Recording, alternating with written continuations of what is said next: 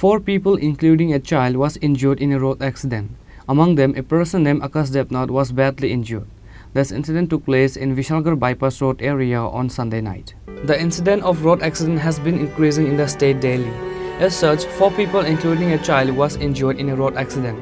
Among them, a person named Akash Debnath was badly injured. Incident took place in Vishalgarh bypass road on Sunday night. The fire service personnel immediately rushed to the news and rescued the injured to Vishalgarh hospital. However, Akash Debnath was transferred to GB hospital because of his critical condition. Actually ঘটনা সম্পর্কে যেটা জানা যায় যে আকাশ দেবনাথ এবং মানিক Gen বিবি ওরা actually বাইকে আকাশ দেবনাথ বাইকে ছিলেন এবং মানিক জ্যান বিবি মনে হয় অটোতে ছিলেন ওদের মুখোমুখি সংঘর্ষ হয় এবং ফায়ার সার্ভিস ওদের দুজনকেই হসপিটালে নিয়ে আসে এর মধ্যে আকাশ দেবনাথের অবস্থাটা একটু গম্ভীর কারণ উনি মাথায় গুরুতর চোট পান। তো ওনাকে উন্নত চিকিৎসার জন্য এবং সিটি স্ক্যানের জন্য এজিএমসিতে রেফার করা হচ্ছে।